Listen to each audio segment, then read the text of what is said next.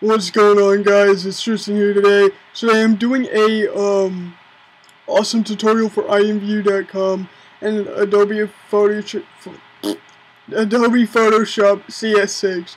Um, I may have some tongue twisters, I'm very sorry in advance for my voice. I am sick right now.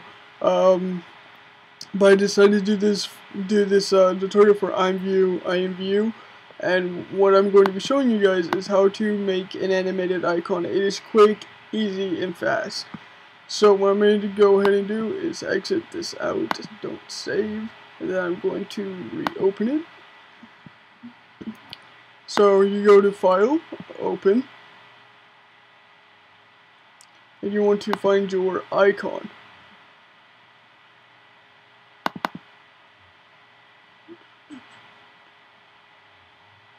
Open up your icon and then you want to go to the picture that you want to do. Today we'll be working with a shirt by Cihan, uh, C-I-H-A-N. Um, I will not be using this uh, obviously as an icon because it's not my shirt, but um, I'm just doing this for the tutorial for you guys because I haven't made anything new and I had this picture on my desktop on hand. So what you want to do is you want to make sure that you're on your move tool and you want to go ahead and drag this over. As you guys saw the layer, you just click the layer and drag it down to separate it. Go ahead and make sure that your icon is in the right spot under the gloss and whatnot. Then you want to click Show Transform Controls right up here. And you'll see this little center piece. You want to click that center piece and drag it and just drop it about right in the middle of your icon. Now right up here for the width, you want to put 14. For the height, you want to put 14 as well. And then you want to click the move tool again and click apply.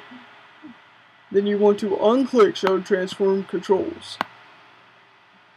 And then you want to put your icon where you want it to first start. On a Mac you can press control to move it yourself without the auto select getting in your way. No, this is really important. For CS6 users, your animation area is called the timeline. In order to open that, you go to Window, Timeline. If you're using CS5 or CS4, any older version of Photoshop, you're going to go to Window and click Animation. You're going to have your animation there but for CS6 users, you need to click timeline. now, this is also important. Down here for CS6 users, yours will be automatically put on create video timeline, or whatever you last used. You want to put it on create frame animation.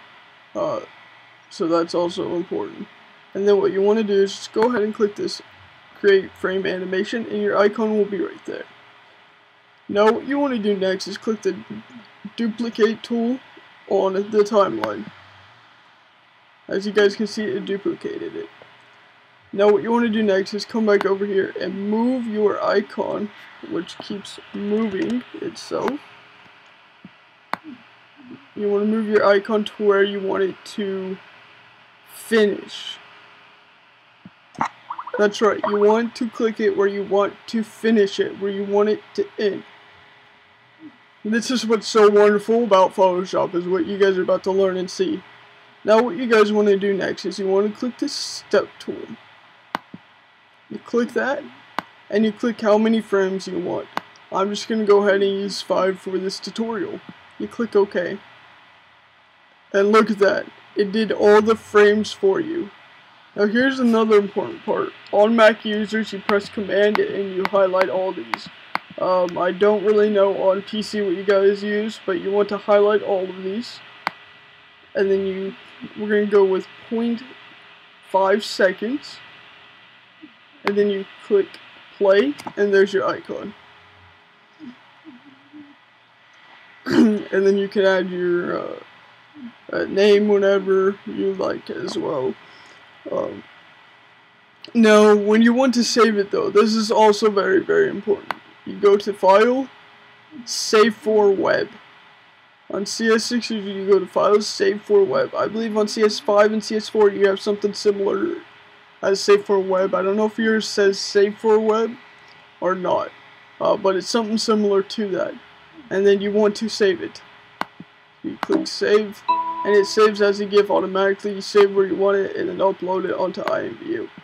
So there were a few important steps to remember, so uh, please watch this tutorial carefully, or hopefully you did watch it carefully.